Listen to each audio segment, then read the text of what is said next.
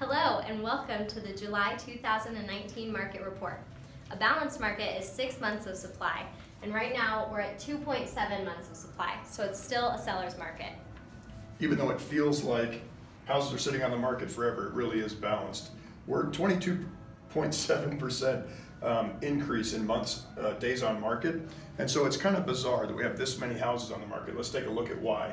Um, new listings are up 4% year over year, um, and sold listings are down 9% year over year. So there's a 13% change in how many houses are being sold versus coming on the market this year. Let's look at our sales price. That's right about 4% between the average and the median sales price. Still a 4% increase here in Fort Collins.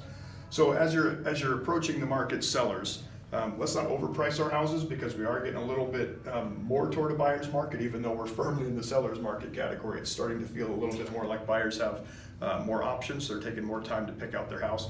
So let's be careful to not overprice and get our houses in, in that perfect condition we know they need to be in. Speaking of perfect condition, let's take a look at this one.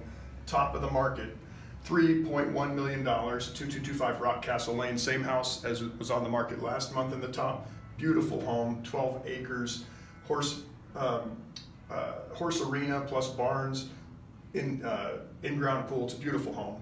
And then let's look at the bottom of the market. You want to move here to Fort Collins and you want to get the least expensive house. We're right at 290 over on um, Mountain Range Shadows, or sorry, 8212 Mummy Range Drive in Fort Collins.